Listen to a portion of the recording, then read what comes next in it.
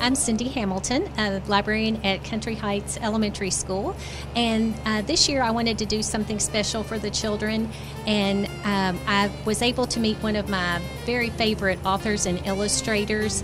Her name's Jan Brett. She wrote a new book this year called Gingerbread Christmas, and so I was able to rent the Star Lab from uh, the Owensboro Museum of Science and History. And with the help of my husband and some volunteers, we created a gingerbread house that the children can crawl into. And uh, we have a really neat experience of reading the book Gingerbread House.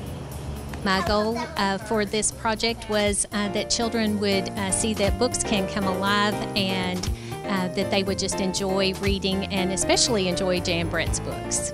I went into the, the library. I saw this big gray thing, I I didn't know what it is. Instead, it was a star house, but it was actually a gingerbread house. When it when it had these lights, so we could see, and it was called a.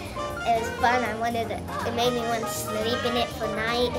We went in the candy house and we when she read a book to us and it and it was a good book and he and he was and, and he got on a Christmas tree and he was thinking about being an ornament